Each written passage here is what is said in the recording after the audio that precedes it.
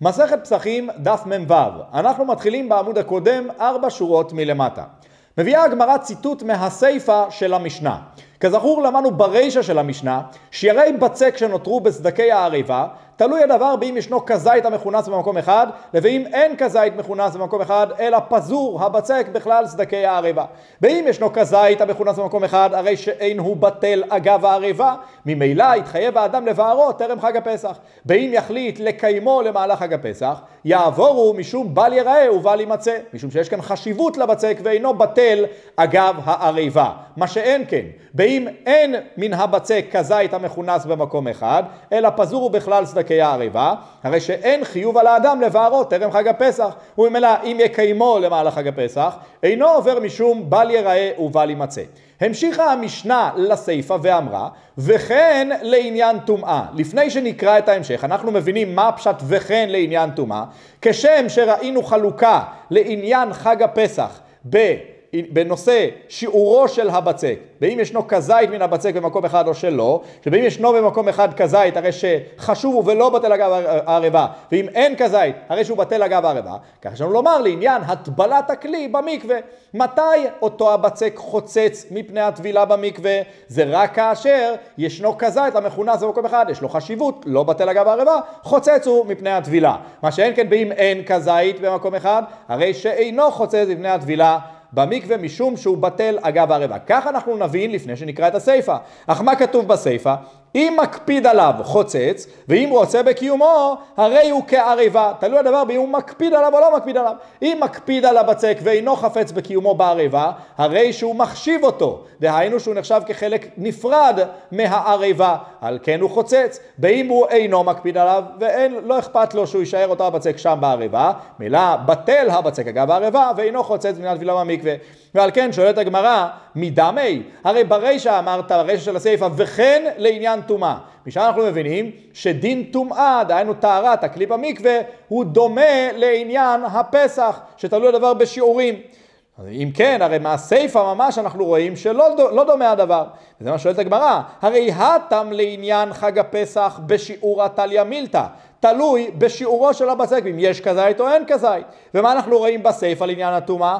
הכה בכפי דתליה מילתא, זה לא דבר בכפי דתו של בעל הכלי, באם מקפיד עליו או שלא. אז מה דומה עניין טומאה לעניין הפסח? אמר רב יהודה, אימה ולעניין טומאה אינו כן. אומר רב יהודה, נבין מה שאמרה המשנה וכן לעניין טומאה, לא התכוונה לומר שממש עניין טומאה דומה לפסח, שאנו תולים את הדבר בשיעור. התכוונה המשנה לומר וכן עניין טומאה, שדומה הדבר שיש לנו אפשרות כזאת, שהבצק יתבטל אגב הכלי, ומאידך ייתכן והבצק לא יתבטל אגב הכלי. אמנם לא מאותו טעם של חג הפסח, שתלוי הדבר בשיעור כזית או שלא כזית, אלא מעניין אחר, האם מקפיד עליו בעל הכלי, או שלא, שבאם מקפיד עליו בעל הכלי, הרי שהוא חוצץ מפני הטבילה, כי הוא לא בטל אגב הכלי, ואם לא מקפיד עליו, הרי שהוא בטל אגב הכלי. אז מה שאמרנו, וכן עניין טומאה, רק פשוט לומר שישנה חלוקה דומה, כן, החלוקה של הפסח, רק שלא בדיוק כמו אותה החלוקה, אנחנו לא מתייחסים לעניין שיעור, אלא לעניין הקפדתו של בעל הבית, כך מתרץ רב יהודה. אמר לאביי, וה וכן לעניין טומאה קטנה, כתוב מפורשות במשנה וכן לעניין טומאה. איך אתה יכול לפרש את זה שהמשנה התכוונה לומר רק שמה שדומה זה רק עניין החלוקה? הרי נראה שהמשנה רוצה לדמות את כל דין הטומאה לדין הפסח. אלא אמר אביי הכי כאמר, וכן לעניין צירוף טומאה בפסח, ובשאר ימות השנה איכא פלוגתא. באה המשנה לומר שבעניין טומאה גם שם אנחנו נעשה צירוף של אוכלים אחרים שפחות מכביצה יחד עם הבצק המצוי בסדקי הערבה מחמת חשיבותו באם יש בו כזית. אז באמת אני תולה את הדבר בשיעורו של הבצק כי אם הוא, יש בו כזית אז יש לו חשיבות של איסור מלא הוא מצטרף לשאר האוכלים לעניין טומאה כפי שמיד נראה. אז זה רק לעניין הפסח שלא דבר בשיעורו. אבל מה שאין כן לשאר ימות השנה שכזית או פחות מכזית לא משחק כאן תפקיד, מה כן משחק כאן תפקיד? הקפדתו של בעל הבית. כי ייתכן ויש כאן יותר מכזית ועדיין בעל הבית לא מקפיד על הימצאותו של אותו הבצק. לכן תלוי אם מקפיד עליו או שלא מקפיד עליו, וככה נוכל להבין האם הבצק בטל אגב הכלי ואין לו חשיבות, או שאינו בטל אגב הכלי, כאשר בעל הבית מקפיד עליו. וזה מה שבאה הגמרא מבארת. היכי דמי, במה מדובר? כגון דאיכא פחות מכביצה אוכלין ונגעו בהי בצק בפסח די איסורו חשוב מצטרף, בשאר ימות השנה דבקפידא תליא מילתא, אם מקפיד על המצטרף. אם רוצה בקיומו, הרי הוא כערבה. כאשר מדובר בחג הפסח, וישנו בצק, כזית בצק, בסדקי הערבה, כנוס במקום אחד. וכעת הכניס האדם אוכלים שהם פחות מכשיעור כביצה, זה שיעור הטומאת אוכלים שיכולים לטמא הלאה, זה רק שיש בהם כביצה, פחות מכשיעור כביצה הכניס לתוך אותו הכלי. לאחר מכן נטמעו אותם האוכלים ונגע בהם אוכלים אחרים. השאלה האם הם מטמאים את האוכלים הלאה או שלא, אבל למעשה יש בהם פחות מכביצה.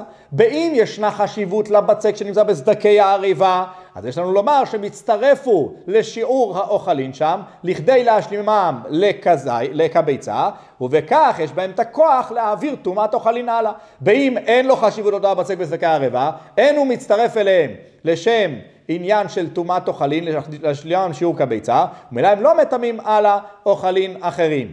ובזה מדובר. אז לעניין הפסח, כפי שאמרנו, כאשר יש כזית בצק המכונס במקום אחד, יש לו חשיבות, משום איסורו, על כן הוא מצטרף לאותם אוכלין לשיעור כביצה. באם יש שם פחות מכזית המכונס במקום אחד, הרי שאינו מצטרף אליהם, ומילא הם לא מטמאים הלאה. ומה שאין כן בשאר ימות השנה שאין חשיבות כאמור לעניינו של הכזית, שמה בקפידה, בקפידתו של בעל הבית, טליה מילתא.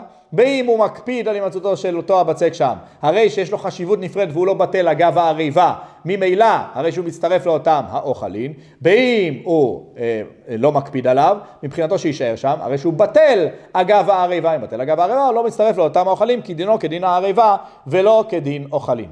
מה תקיף לרובה?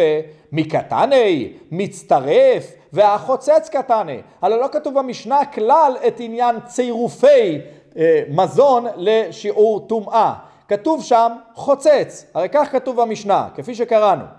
אם מקפיד עליו חוצץ, ואם רוצה בקיומו, הרי הוא כערבה. חוצץ הפשט, אנחנו מבינים שזה מדובר לעניין טבילה במקווה. אלא אמר רובד, צריך לומר כך, וכן להעלות טהרה לערבה. בזה, בזה מדובר. היחידה, במה מדובר? כגון דאית מי החריבה ובא אלי טבולה. נטמעה אותה ערבה אותו הכלי, וכעת הוא רוצה להטבילו במקווה. בפסח דאיסורו חשוב, וכאשר ישנו כזית המגונס במקום אחד, יש לו שם איסור, אחר שאיסורו חשוב הוא נחשב כדבר בפני עצמו, אזי חוצץ מפני הטבילה, והכלי לא ניתר בטבילתו, ולא סלקה לטבילה. בשאר ימות השנה, בכפי דתליא מילתא. אם מקפיד עליו חוצץ, ואם רוצה בקיומו, הרי הוא כערבה, של ימות השנה, שאין שום חשיבות לעניין הכזית, שם אתה לא דבר בכפייתו של בעל בית, מקפיד עליו, יש לו דין חשיבות בפני עצמה, וממילא הוא חוצץ, הוא לא נחשב כחלק מהערבה, לא מקפיד עליו, אינו חוצץ, הוא נחשב כחלק מהערבה, כך ברובה, ואומר שזה בדיוק מה שאמרה המשנה, מה שאמרה, וכן לעניין טומאה, וכן לעניין טומאה, שאנחנו מסתכלים על שיעור הבצק, האם כזית או לא כזית, זה לעניין הפסח. אבל שאר ימות השנה זה לא באמת לעניין טומאה כך, אלא לעניין אה, התלותיות בהקפדתו של בעל הכלי. מתקיף לרב פאפא מקטני וכן לעניין טהרה, הלעניין טומאה קטני. שואל רב פאפא את רובה, הלא אתה בעצמך הקשית על אביי מחמת דקדוק בלשון של המשנה, ושאלת לו מקטני מצטרף, כתוב חוצץ. נו אז גם אני מקשה עליך מדקדוק בדברי המשנה. אתה אומר שהמשנה עוסקת לעניין הטבלת הכלי במקווה.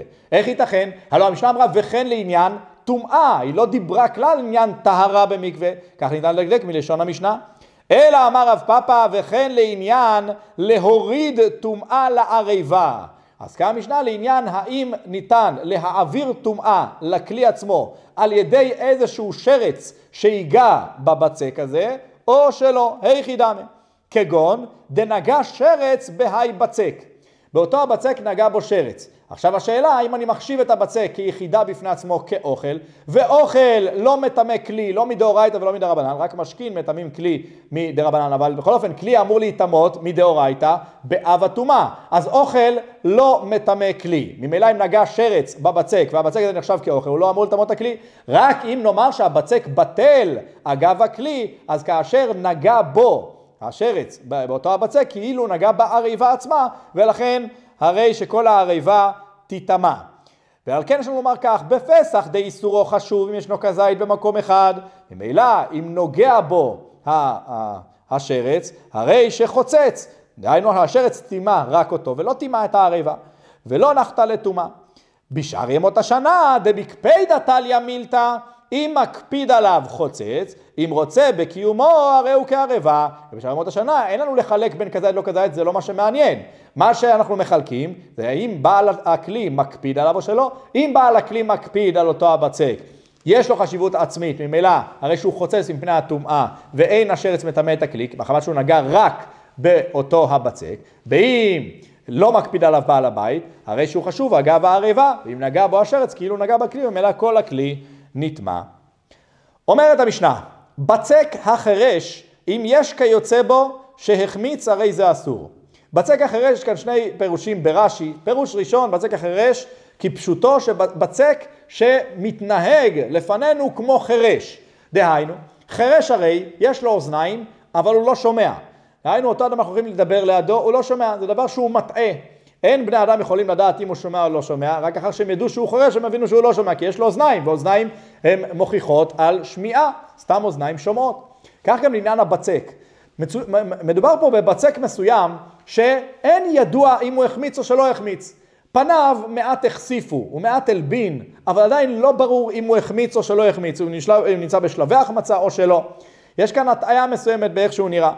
וזה נקרא שישנו ספק, בצק החירש. אליבא דלישנה השנייה ברש"י, בצק החרס גורסים במשנה כמו חרס. דהיינו שהבצק הוא קשה כמו חרס ואני לא יודע האם במצב כזה הוא החמיץ או שלא החמיץ. בכל אופן, בסופו של דבר אנחנו מדברים על אותו עניין שאין ידוע האם הבצק החמיץ או שלא. אומרת המשנה, אם יש כיוצא בו שהחמיץ הרי זה אסור. אם אנחנו רואים בצק מונח במקום אחר אבל לשו אותו באותו הזמן והוא עשוי מאותם חומרים והוא נמצא מונח בצד ואני רואה כעת שהוא החמיץ. אם אותו הבצק החמיץ אז ממילא משהו שגם הבצק הזה הרי שהוא החמיץ, רק שאנחנו לא רואים, לא ניכר הדבר שהוא החמיץ. אבל חבל שמדובר באותם מיני בצקים, בצקות, ולמעשה ישנו אותו אקלים בחדר, ואותם אה, מרכיבים, מרכיבים את אותם העיסות, אז בוודאי שאם זה החמיץ, גם זה החמיץ, כך מסתבר לומר. אומרת הגמרא, אם אין שם כיוצא בו, מהו? אם אין לנו בצק אחר כיוצא בו, איך אנחנו נדע האם הוא החמיץ או שלא החמיץ? האם יש איזשהו טווח זמן של החמצת הבצק? אמר רבי אבא, אמר רבי שמעון בן לקיש, כדי שילך אדם ממגדל נוניה לטבריה, דהיינו מיל. מהו פרק הזמן שיש לנו להמתין אם עכשיו אדם עושה עיסה ולא מתעסק בו ומשאיר אותו כך, לנוח, מהו פרק הזמן שבו הוא יחמיץ? אומר אה, אה, ריש לקיש, כך אומר רבי אבאו משמו, שזה פרק זמן כזה כדי שילך האדם ממגדל נוניה, שם מקום, לטבריה. שמהו פרק הזמן הזה? מיל. מה זה מיל? מיל זה כדי הילוך של 18 דקות, כך על פי השולחן ערוך, על פי רוב הדעות, הרווחת. אה, ישנם דעות, מובאים במשנה ברורה, 24 דקות וכדומה. בכל אופן, נניח 18 דקות, זהו כדי הילוך של מיל. אז כדי הילוך, דהיינו כדי 18 דקות, זהו זמן חימוצו של הבצק. אז אם עברו 18 דקות, תדע שהוא החמיץ. אם פחות מ-18 דקות, לא החמיץ. שואלת הגמרא, ונימה מיל, מה אתה צריך להגיד לי כאן את כל ה-GPS הזה ממגדל נוניה לטבריה, מה זה משנה לי עכשיו כל מיני מסלולים? תאמר לי, מיל, זה הכל אני אבין. עונה הגמרא, הקא משמע, דשיעורא דמיל כמגדל נוניה ועד טבריה. תדע לך, מה זה שיעור מיל, איך תדע מה זה? בואו נלמד אותך, תמדוד ממגדל נוניה ועד טבריה, תדע לך שזהו שיעור מיל במדויק.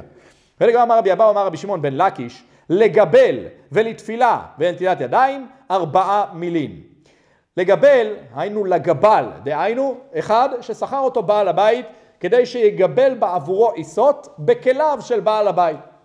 אלא שכליו של בעל הבית יש בהם טומאה, וצריך להטביל אותם במקווה.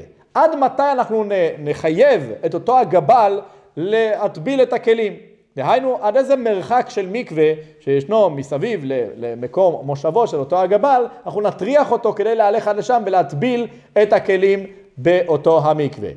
מיד אנחנו נראה שזה ארבעה מילים, אבל למעשה כלפי מה הדברים אמורים? הרי למעשה בעל הבית שכר אותו בכדי שיגבל בעבורו את היסוד. אז אותו הגבל לא יכול פתאום לפרק את החוזה, לקום וללכת. מתי הוא כן יכול לקום וללכת ולומר אין רצוני בכך? אם מכריח אותו בעל הבית לעבור את כדי שיעור הארבע מילין בכדי לחפש ולטוח מקווה ולהטביל. וזה הוא לא חייב. אז הוא יכול להציב לבעל הבית תנאי. נכון, אמרתי לך שאני אגבה לך את היסוד בטהרה, אבל כל זה רק כאשר ישנם בארבע מילים מקווה. אבל אם אין מקווה בתוך אותם ארבע מילים, יכול לומר לו, או שאני אלוש לך אותם בטומאה, או ששלום שלום, אני הולך לחפש לך גבל אחר. כך הוא יכול, או שכמובן ידרוש, לו, ידרוש ממנו כסף נוסף על כל מיל שהוא ילך. אז זה לגבי הגבל ולתפילה. אדם ההולך בדרך, וכעת הוא רוצה לעצור לפוש, ללון, לקבוע את משכנו, את אוהלו. אלא שהוא עדיין לא יתפלל תפילה במניין.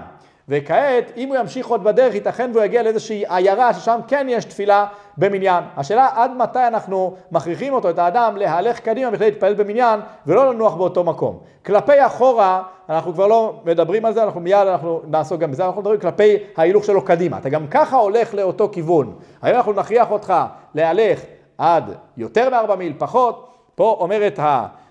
אומר רבי שמעון בן לקיש, שם אנחנו רואים רק ארבעה מילים. ולנטילת ידיים, דהיינו, אדם שוב נמצא בדרכים, אין לו מים ליטול ידיים לצורך הסעודה, עד מתי נטריח אותו ללכת ולטור ולחפש אחר מים? אומר ריש לקיש ארבעה מילים. אם יש לך ארבעה מילים לפניך, מים, שתוכל ללכת ליטול ידיים באותם המים, לך לשם, טול את, היד... את המים משם ותיטול בהם את ידיך ותאכל. אם לא, תשתמש באיזושהי מפה וכך תאכל את הלחם, העיקר שידיך לא ייגעו בו. אז למעשה בכל אותם ההלכות, שלוש הלכות, אנחנו רואים לגבה, לתפילה ונטיית ידיים, שישנו שיעור של ארבעה מילים. אמר רב נחמן בר יצחק, אייבו אמרה וארבעה אמר בה.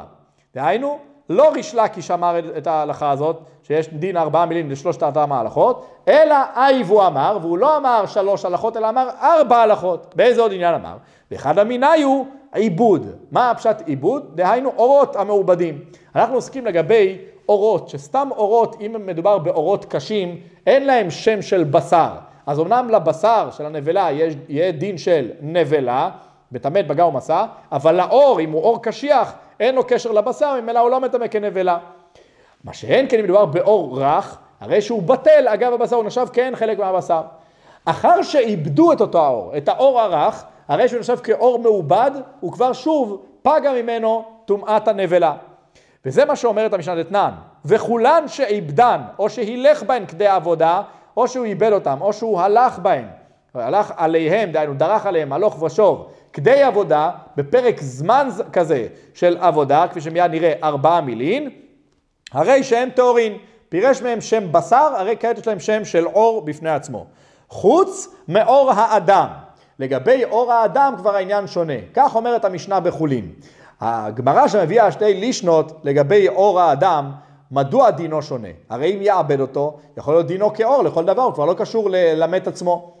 אומרת שהגמרא לגבי, ההבדל בין לישנא קמא ללישנא בתרא למעשה זה האם זה דאורייתא או דרבנן, לפני שהוא איבד את האור. אחר שהוא איבד את האור, לפי שני הלישנות, זה מדרבנן. בכל אופן, מהי הגזרה משום אור האדם?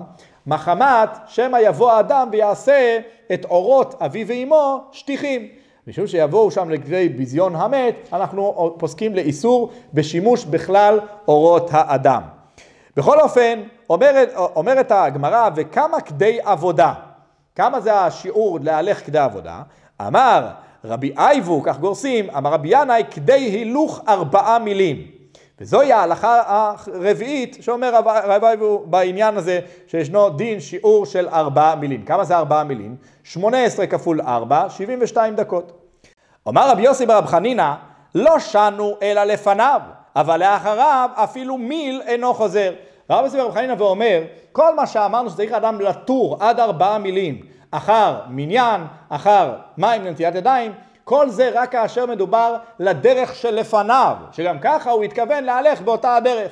דהיינו, אנחנו לא באים ומטריחים אותו טרחה יתרה שהוא לא התכוון אליה, גם ככה התכוונת ללכת, אנחנו אומרים לו, תמשיך ללכת, אל תקבע את אוהלך כאן, תמשיך עד שתמצא תוך ארבעה מילים מניין או מים לנטיית ידיים.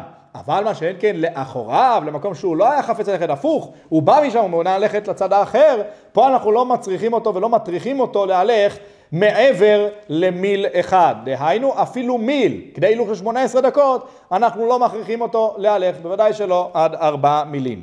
למה? כי יש כאן עניין של טרחה יתרה, של הפסד זמן וכדומה. אמר רבחה, מכאן הוא מדייק, הוא מינה. מיל הוא דיינו חוזר, הפחות ממיל חוזר. כל מה שלא יחזור האדם ויחפש אחר מניין או אחר מים נטיית ידיים, כשמדובר לאחוריו, נכון? מקביל לאחוריו, אנחנו מדברים גם כן לאדם שנמצא בביתו, האם הוא יתור אחר מניין או שיתפלל ביחידות, וכמו כן עניין מים נטיית ידיים, כל זה אנחנו מדברים לעניין מיל, מיל ויותר שלא יחפש. אבל פחות ממיל, דהיינו פחות מדי לא 18 דקות, אנחנו אומרים שחייב האדם לחפש. אז ממילא, אם האדם נמצא בביתו, או שנמצא בדרך, וכעת הוא שואל את עצמו האם ללכת לאחוריו ולחפש בית הכנסת, מניין אנשים, להתפלל איתם את התפילה במניין, או מים יד ידיים, אנחנו אומרים לו, אם בתוך 18 דקות אתה תוכל למצוא, לך עד 18 דקות, יותר 18 דקות, אנחנו כבר לא מכריחים את האדם. אומרת המשנה, כיצד מפרישין חלה בטומאה ביום טוב? פה אנחנו עוסקים לעניין אדם שגיבל עיסה במהלך יום טוב של חג הפסח או יום טוב ראשון או שביעי של פסח ומעוניין לעשות ממנה מצות. כעת הרי הוא מחויב בהפרשת חלה. אך מה הפלונטר שלנו? אם הוא עכשיו יפריש את אותה הפרשת חלה מן הבצק, מהעיסה, ויניח אותו בצד בעבור הכהן, הרי שאותה עיסה תחמיץ. אחר שהיא תחמיץ, ממילא גם כן יעבור עליה אדם משום בל יראה ובל יימצא. וכאן מדובר שאותה האכלה, אותה עיסה, היא טמאה. אז אם זה לא היה טמא, יכל האדם פשוט לאפות אותה, ולאפות אותה בעבור הכהן, אחר שהוא, שהוא, שהיא החמיצה, אה, לפני שהיא תחמיץ. למה? כי אה, רשאי האדם לעשות, לאפות, לעשות את אותם האיסורים הנוגעים לבישול, אפייה, שחיטה וכדומה, כל עוד מדובר לצורכי אוכל נפש. אז היה באמת רשאי האדם לעשות. אבל פה מדובר שהעיסה טמאה. אחר שהיא טמאה, גם אם הוא מפריש מנחלה, היא לא ראויה לכהן, לא לאכילה, ואולי גם, היא כן מיועדת להנאה, להנאה של שריפה, אבל להדליק אותה ביום טוב, הוא לא רשאי למה, כי אין אה, מדליקין או מבערין קודשין ביום טוב. אז אין לו מה לעשות איתה לכהן עכשיו. אם אין לו מה לעשות איתה, והאדם מפריש עכשיו את אותה הכלה, אז יש לנו כאן בעיה, כי הרי בהפרשתה הוא יוצר מצב שההכלה תחמיץ, תישאר אצלו, יישאר אצלו אותו הבצק, הוא יחמיץ, ולא יוכל הוא לאפות אותו לפני שיחמיץ, דהיינו לא יוכל לשמר עליו כדי שלא אה, אה, יהפך לחמץ. אז במילא יש לנו כאן בעיה שהוא יכול לעבור עליו משום בל יראה ובל יימצא. מה יעשה? אומרת הגמרא, רבי אליעזר אומר, לא תקרא לשם עד שתאפה. שהאישה שמגבלת העיסה לא תקרא שם כלל, דהיינו שלא תפריש חלה מן העיסה בעודה בצק, אלא שתופה אותה קודם כל בתנור, לאחר שהיא הופעה אותה בתור לחמים, היא תחתוך חלק מהלחמים, או שתיקח כיכר אחת שלמה לצורכי ההפרשת חלה, אחרי שזה אפוי אז כבר אין כאן חמץ, וממילא אין שום בעיה להשעות את זה בעבור הכהן. למעשה, מה נשאל? הרי, הרי תאמר שהוברר הדבר למפרע, אותה החלה שהיא לקחה אותה, שהיא הפרישה אותה, זה החלה שמלכתחילה גם כן הייתה מיועדת לכהן, אם הייתה מיועדת לכהן, אז שוב, אתה עפית כאן דבר שלא ראוי לצורכי אוכל נפש, ואסור לך לעשות את זה. דבר שלא ראוי לצורכי אוכל נפש, אסור. למעשה, אליבא דבית הלל מסכת ביצה, דף י"ב עמוד ב', שם הם חולקים על בית שמיים, סבורים שמה שהותר לצורכי אוכל נפש, הותר גם כן לשאר שימושים. אז ממילא הבישול גם היה אמור להיות מותר וגם האפייה. אבל בכל אופן, מחמת שזה לא מיועד כלל לצורך ביום טוב, אז גם בית הלל יודו כמובן שלא ניתן לעשות עם זה דבר. זה כאשר החלה הייתה מיועדת לכהן מלכתחילה, באותה בצק. אז לכאורה נשאל כאן, הלא הוברר הדבר למפרע אחר שהפרישה את אותה החלה אחר העיסה, אחר האפייה, הוברר שבעודה עיסה, כבר אז היא הייתה מיועדת לכהן, אם כן, איך אפית אותה? אז זה לא לצורכי יום טוב. לכן צריך לומר שלא אומרים כאן הוברר, למה? כי מעיקרא יכלה האישה פשוט לחתוך חתיכה אחת מכל לחם ולחם, היא לא הייתה חייבת לקחת כיכר שלם, היא לא הייתה חייבת לקחת דווקא את אותה חתיכה, לכן אין כאן שום ברירה עד אשר לא מפרישים ממנה את אותה האכלה. ממשיכה המשנה ואומרת פתרון נוסף בין בית העירה אומר, תטיל בצונן, לא, שהיא באמת תפריש בעוד מדובר בעיסה, לא תופה את זה כך, תפריש בעוד עיסה ותיקח את אותה החתיכה שהפרישה בעבור הכהן, תטיל אותה במים צוננים, שמה היא לא תחמיץ, ולכן אין שום בעיה. עומד כבר אמר רבי יהושע, לא זה הוא חמץ שמוזרין עליו ובל יראה ובל יימצא, אלא מפרישתה ומניחתה עד הערב, ואם החמיצה החמיצה. בא רבי יהושע ואומר, מה הבעיה? הרי על מה אדם מתחייב משום בל יראה ובל יימצא? כאשר מדובר בחמץ שהוא שייך לו, או לכל הפחות חמץ שהוא שומר אותו כפיקדון בעבור מישהו מסוים, אבל יש לו בעלים מוגדר. פה מדובר באותה הפרשה, א', אין לה בעלים מוגדר, ב', זה לא שייך לבעל הבית.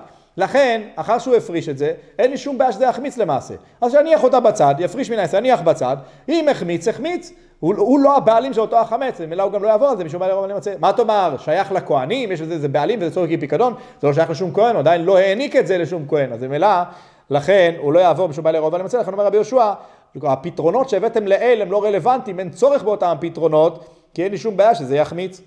אומרת הגמרא, לימה בטובת הנאה כמפלגי. לכאורה אפשר לומר שרבי יהושע ורבי אליעזר חולקים בעניין טובת הנאה, כי אנחנו רואים ששיטתו של רבי יהושע אין שום בעיה שתחמיץ אותה החתיכה שהפרישה האישה להפרשת חלה, לכהן. לפי רבי אליעזר כן יש בעיה שתחמיץ, לכן הוא אומר שצריך לאפות ולאחר מכן להפריש. מה המחלוקת ביניהם? לכאורה אפשר לומר שהם נחלקו לעניין טובת הנאה. לא אדם שמפריש תרומה, הוא יכול לבחור לאיזה כהן לתת אותה. ויכול אדם שאומר לאדם הזה, תשמע, תקח דינר ותפריש בבקשה לנכד שלי את אותה העיסה או את כל התרומות שלך. בכל אופן יש לו אה, טובת הנאה בעצם ההחלטה לאיזה כהן להפריש את התרומה. אז נכון, התרומה אינה שייכת לבעל הבית שהפריש אותה, אבל טובת הנאה כן יש לו. האם לומר שמשום טובת הנאה שיש לו, הוא באמת נחשב כהבעלים, ואם הוא נחשב כהבעלים אז הוא יעבור משום בעלי הרבנים או שלא, בזה נחלקו רבי אליעזר ורבי יהושע. ורבי אליעזר סבר טובת הנאה ממון, זה כן נחשב ממון, נחשב ממונו, עצם הטובת הנאה, ממילא הוא נחשב כבעלים של העיסה הזאת, וגם של החתיכה. ואם הוא נחשב כבעלים של החתיכה שהוא הפריש בעבור הכהן, אז בוודאי שאם היא תחמיץ הוא יעבור למשום בעלי הרבנים יוצא לכן צריך למצוא פתרון, מה הפתרון? שיופה אותה. ורבי יהושע סבר, טובת הנאה אינה ממון. טובת הנאה זה לא נחשב ממון, זה דבר של אופציה, אופציות זה לא נחשב אה, ממון, זה לא, לא נחשב בעלים של זה, גם טובת הנאה זה דבר שיבוא ממקור חיצוני, הוא מחליט להעניק לך איזושהי טובה, זה לא שיש לך את זה בידיים. לכן אומר רבי יהושע, שהוא לא יעבור על זה משום בעלי הרב ימצא, לכן אין לנו שום חשש שזה יחמיץ. עונה הגמרא לא, אל תוכיח שבאמת בזה הם נחלקו. אלא אפשר לומר לכולי עלמא סברי טובת הנאה אינה ממון. אפשר לומר שלכולי עלמא טובת הנאה אין בה כלל חשיבות של ממון של אותו אדם, הוא לא נחשב, הוא לא כלל בעל הבית. והכה, במה הם נחלקו? בהועיל כמפלגי. דרבי אליעזר סבר אמרינן הועיל ואיבא איצ'יל עלה ממונהו. רבי יהושע סבר לא אמרינן הועיל. הם נחלקו, האם הרי מחמת שאחרי שהאדם מפריש הפרשת חלה, מפריש תרומה, הוא יכול להישאל אצל חכם ולבטל את ההפרשה. אחרי שהוא מבטל אז ממילא החתיכה הזאת הופכת לתבל, היא הופכת שוב לממונו. היא הופכת לממונו, אז שוב, אם זה יחמיץ, אז יעבור שום בעלי רעיון למצא. אז האם אני אומר הועיל, מחמת שכן יש לו את האופציה הזאת להפוך את התרומה הזאת חזרה לממונו, זה נחשב כממונו, כי כשיש לאדם את האפשרות להשיג דבר מסוים, אני יכול לומר שיש לו איזושהי נגיעה, איזושהי זיקה לדבר. אז ככה גם כאן יש לו איזו זיקה, וזו שיטתו של רבי אליעזר, ולכן הוא יעבור משום בעלי רעיון למצא. או שלא אומרים הועיל, וזו שיטתו של רבי יהושע, לא אומרים הועיל, זה לא נחשב כזיקה כלל, בסופו של דבר הוא הפריש ואין דרך בני אדם לחזור מהפרשתם, לכן זה לא נחשב ממונו והוא לא יעבור על זה משום בל יראה ובא למצא, לכן אם החמיצה, החמיצה. אומרת הגמרא, איתמר, מעין אותו העניין, האופה מיום טוב לחול. רב חיסדא אמר לוקה, רבה אמר אינו לוקה. אדם שאופה מיום טוב בעבור יום חול, הרי כל מה שהותר לאדם, אך אשר יעשה לכל, יאכל לכל נפש, הוא לבדו יעשה לכם, לנו רק דבר שמיועד לצורכי אוכל נפש במהלך יום טוב, במהלך היום טוב לאכול, אז את זה האדם רשאי לעשות ביום טוב, ואין בשם איסור של מלאכות השבת, אין איסור של הבערה, אין איסור של בישול, של אפייה, של שחיטה. למה? מחמת שהאדם מעוניין לאכול אותו המאכל ביום טוב. אבל אם אותו אדם יעשה איזושהי מלאכה, גם שזה בעבור אוכל נפש, אבל לא בעבור לאכול אותו ביום טוב עצמו, הרי שהוא יעבור על האיסורים דאורייתא הנ"ל, של בישול, של הבערה, של אפייה. אומרת הגמרא, אז כעת מדובר באדם שאפה בריש גלה מיום טוב בעבור יום חול. מה הדין? האם הוא עבר כאן איסור דאורייתא עליו מהתורה והוא לוקה על, על כך או שלא? בשונה משבת, ביום טוב, על אותם האיסורים של המלאכות, לא מקבלים מיתת בייזין, אלא מלקות, כליו. רב חיסדא אמר לוקה, רבי אמר אינו לוקה. מהי הסיבה של מחלוקתם? רב חיסדא אמר לו למה לא אמרינן הואיל ומקלה לאורחין חזלי. אנחנו לא אומרים שאולי, הגם שהוא לא התכוון לעצמו לבשל אותו הדבר, לאפות אותו, אותם הלחמים, אבל ייתכן ויבואו אורחים, ואם היו באים אורחים אז היה מיועד להם לצורך יום טוב, אז אוכל נפש שנאכל ביום טוב, ממילא זה היה מותר.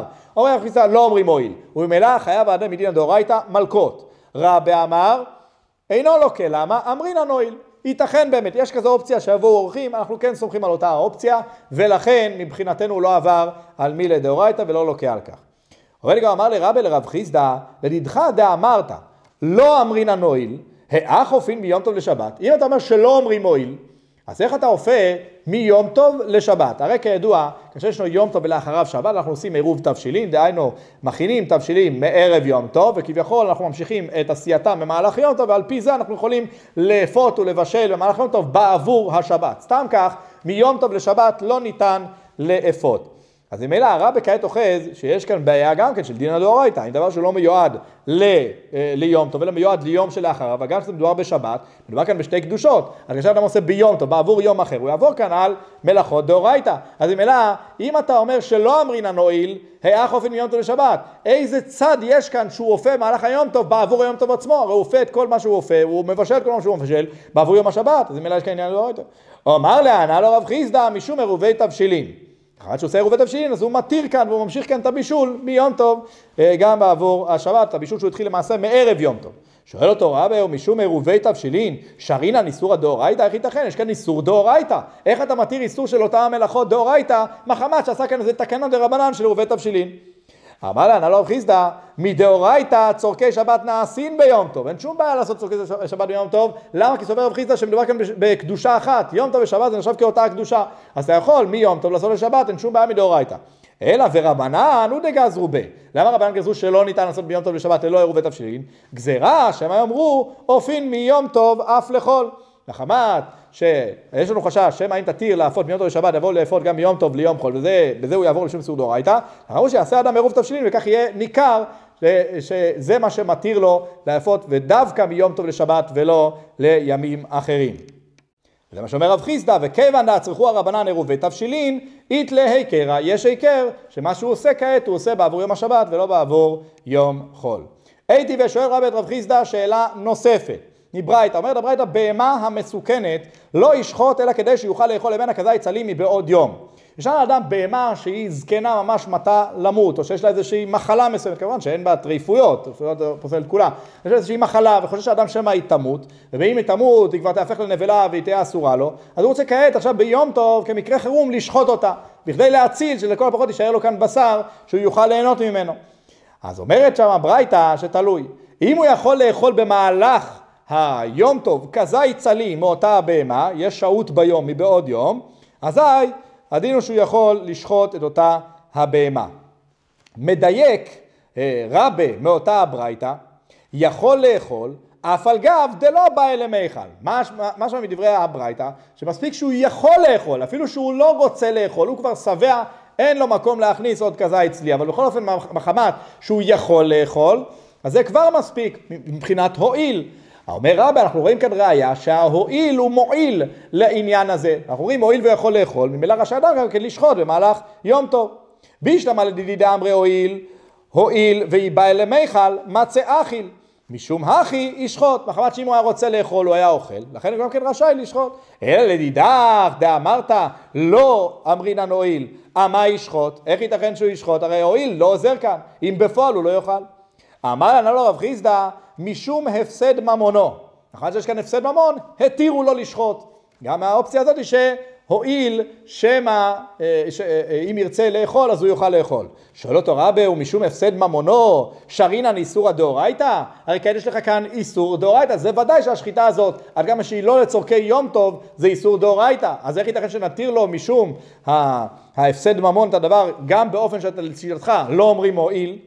אומר לי אין משום הפסד ממונו גמר בליבו לאכול כזית ואי אפשר לכזית בשר בלא שחיטה.